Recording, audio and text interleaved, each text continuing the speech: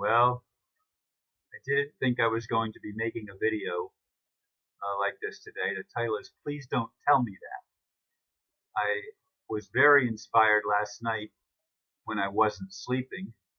I had a, like a real deep spiritual experience and felt really, really connected.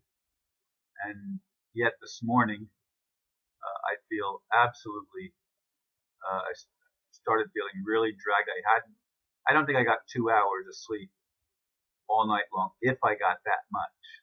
Probably I got maybe an hour to an hour and a half. In any case, uh, I hope, had hoped to do a more inspirational video and not talk about situations that I'm facing. However, uh, one of the things that I've been trying to do, and by the way, I have been unable to sleep during the day to day. Well, I only laid down the one time.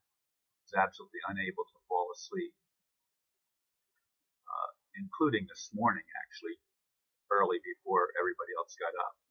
But in any case, I wanted to access some of my passwords because I just, if there's anything that, I, that are, I draw a blank on, it's the passwords on my computer, on the various programs, and they they've all been stored in LastPass, and uh, uh, for some reason I'm not able to even, I, I failed on using the temporary uh, password, and I don't know if they'll give me a second chance. I'm hoping they will, uh, because I just can't.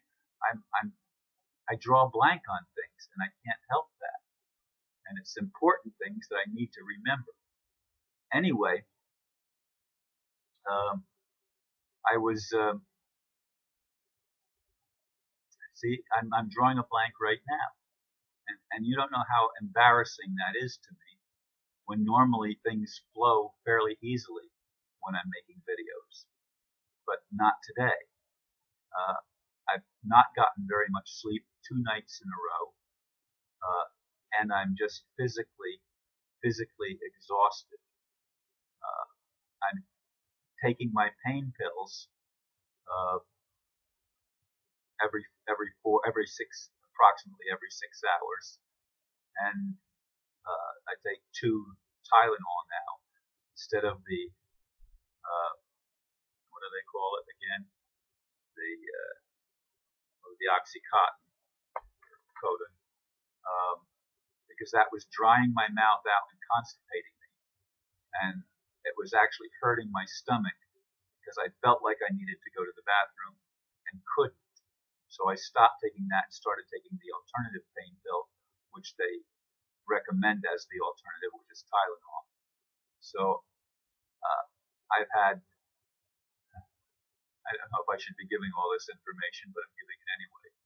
I've actually had four bowel movements today and at least one or two yesterday. Uh, once I once I went on the off the OxyContin. Uh, plus, my mouth isn't all dry all the time like it used to be. So there is improvement, and I'm sorry to be talking about problems like this. Uh, I'm going to uh, possibly send my computer. Oh, that was the other thing. Uh, I went to turned my computer on. My computer, I apparently left it on when I went into the hospital. And a couple days after I was in the hospital, they had a major power surge and outage here my house, and it was out for quite a while. Now, because I forgot to turn the turn the computer off, it turned it, it gives you about 20 minutes on backup to turn it off, and then it then it uh, shuts down automatically and it closed down Windows, uh, and Windows doesn't open except in DOS, or Windows doesn't open, only DOS opens. And I haven't used a password in DOS for years and years. That's how you have to go back into it, try to get everything to work again. My son looked at it and he was unable, so I'm going to have to uh, either get an expert to I can't even do it remotely because something has to work on the computer to be able to re- have remote access. So I need to find someone that's going to be able to restore my computer, hopefully. The last thing I need is to lose everything on my computer, which I don't think will happen. I, I certainly hope not. Anyway, that's the situation that I'm in, and I'm not going to prolong the agony of this video. Uh, I do ask for your prayers and support, and I'm thankful for all of you that have stood by me through all of this. And may God bless each, each and every